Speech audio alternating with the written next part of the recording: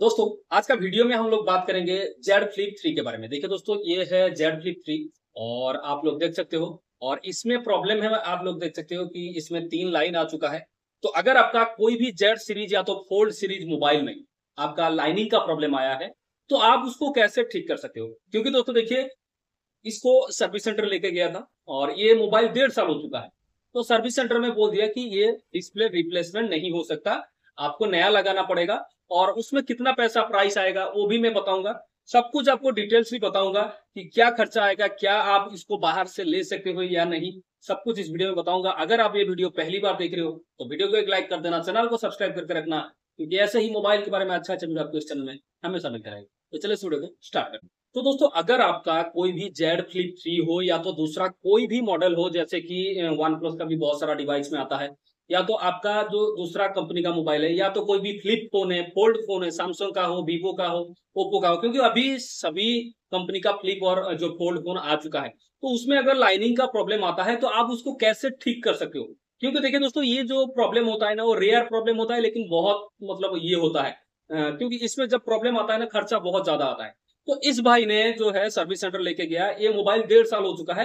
तो service centre ने बोला कि ये आपका वारंटी खत्म हो चुका है। तो इसका रिप्लेस करना पड़ेगा डिस्प्ले रिप्लेस करना पड़ेगा, लेकिन आपका पैसा खर्चा होगा। थर्टी टू थाउज़ेंड बोला इसका डिस्प्ले का प्राइस तो कस्टमर ने रिटर्न ले आया और मेरे साथ कंटेक्ट किया। मैं बोला, ठीक है, भेजो, मैं देखता हूँ। तो मेरे पास भेजा और मैं आपको बताऊँगा कि क्या है, क्या नहीं है, बाहर में कितना पैसा डिस्प्ले का प्राइस है और कैसे उसको ले सकते हो। तो वो तो बताऊँगा ही, लेकिन और दो तीन बात आपको बताना ज़रूरी है। अगर आप फोल्ड या तो ये जो है फ्लिप अगर यूज़ कर रहे हो, कोई भी कंपनी का तो ये डिस्प्ले का प्रॉब्लम आना बहुत मतलब मैंडेटरी है। और ये जो है, हाथ से गिरा नहीं है, कुछ भी नहीं हुआ है। अपडेट किया अपडेट के बाद डायरेक्ट ये लाइनिंग आया। तो मैंने सैमसंग से बात भी किया सैमसंग से मैंने सैमसंग मेंबर्स लेके बात भी किया। तो वो लोग बोल रहा है कि एस सीरीज़ में वारंटी आता है, तीन साल का डिस्प्ले रिप्लेस हो जाता है। लेकिन ये जो जेड सीरीज़ है, या तो फोल्ड सीरीज़ है, उसमें नहीं आता है। वारंटी नहीं आता है। डिस्प्ले का तो वारंटी नहीं आता है। तो अभी ऑप्शन एक ही बचता है कि डिस्प्ले चेंज करना। तो मैंने इसको बाहर में बात किया तो ओरिजिनल डिस्प्ले मिल जाता है तो बाईस हज़ार रुपया जैसा इसका डिस्प्ले पड़ता है। तो आप नियर बाई देखो कि आपका नियर बाई अगर कोई अच्छा रिपेयरिंग शॉप है, आप उससे जाके बातचीत करो। हो सके पुराना डिस्प्ले मिले, लेकिन ओरिजिनल मिल जाएगा। लेकिन और एक चीज़ बताऊँगा, इसका रिपेयरिंग भी आ चुका है, लेकिन अभी दिल्ली में ही है। अभी आउटसाइड में वो जो मशीन होता है जिसमें कि ये रिपेयर हो सकता है, वो अभी आया नहीं है। वो लेजर मशीन होता है, उसमें भी ये रिपेयर हो सकता है। या तो आप बाइक कोरियर भी उन लोग के पास भेज के करा सकते हो, लेकिन उसमें रिक्स है।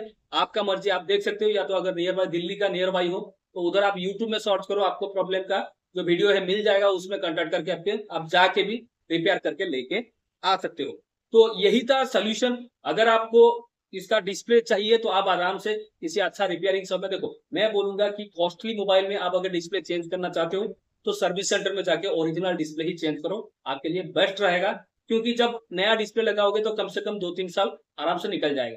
तो ये डेढ़ साल हो गया तो डेढ़ साल के बाद ये प्रॉब्लम आया, लेकिन प्रॉब्लम जो आया भी, वो कुछ प्रॉब्लम मतलब हाथ से गिरने के बाद या तो कहीं पे ये करने के बाद नहीं आया। कैसे आया?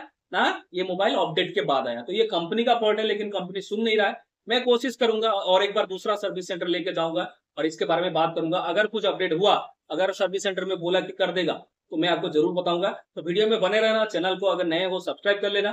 ठीक है दोस्तों, यही था आज का वीडियो में। अगर आपको वीडियो अच्छा लगा है तो वीडियो को लाइक से सब्सक्राइब ज़रूर कर लेना। ठीक है दोस्तों, वीडियो को पूरा देखने के लिए धन्यवाद। जय हिंद दोस्तों।